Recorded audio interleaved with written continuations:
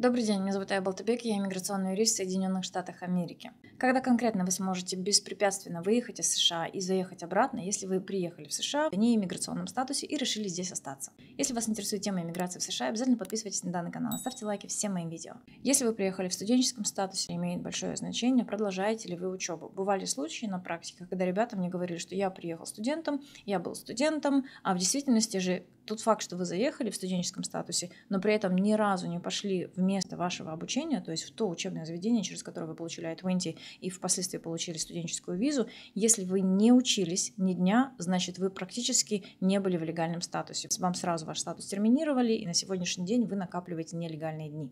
По студенческой визе, если вам ее дали на продолжительный период времени, и вы поддерживали свой I-20, у вас есть возможность путешествовать. Единственное, вы тоже должны понимать, что вдруг, если ваши намерения поменялись, если вы решили остаться на территории США, или более того, возможно, вы нарушили условия вашего нахождения на территории США и работали где-то без права на работу, тогда есть вероятность, что при повторном въезде офицер может это заподозрить, задать некомфортные вопросы, вы можете почувствовать себя неприятно, ответить каким-то не таким способом, на который офицер рассчитывает, и вас тоже могут не запустить, даже несмотря на то, что у вас есть студенческая виза. У вас возникает право на путешествие, то есть для въезда в США, только в случае получения трех видов документов.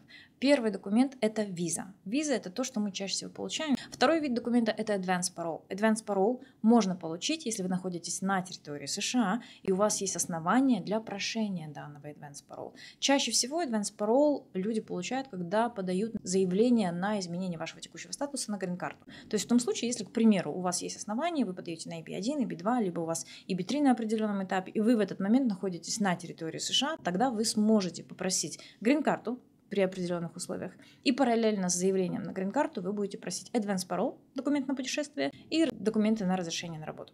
И третий вид документов – это travel паспорт. Люди часто путают travel паспорт и advance parole. Это два разных документа. Travel паспорт выдается только тем ребятам, которые подались на политическое убежище им данное заявление одобрили. То есть они рассказали свою историю, представили свои доказательства, их выслушали, то есть им уже повезло, их вызвали либо на интервью, либо в суд. И уже после этого они получают решение о том, что данный статус для них одобрен. И после этого можно просить travel паспорт. Travel паспорт это такой прям документ, который выглядит как бы как паспорт, но немножко проще. Travel паспорт выдается всего на год.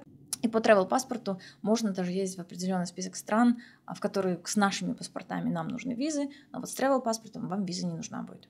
В целом же я вам рекомендую, прежде чем приезжать в США, оценить для себя, сколько конкретно времени вам придется находиться на территории США, прежде чем у вас появится возможность для путешествия. Это, конечно, не означает, что вам здесь находиться безвыездно. Но если вы приезжаете по визе, вы понимаете, что примерно через два года у вас, скорее всего, уже появится возможность для путешествий. Всем, кто не подписан на мой телеграм-канал, вам обязательно нужно пройти по ссылке под данным видео, перейти на телеграм-канал и подписаться, для того, чтобы быть в курсе всех последних иммиграционных новостей и спланировать вашу иммиграцию наиболее быстрым и оптимальным способом.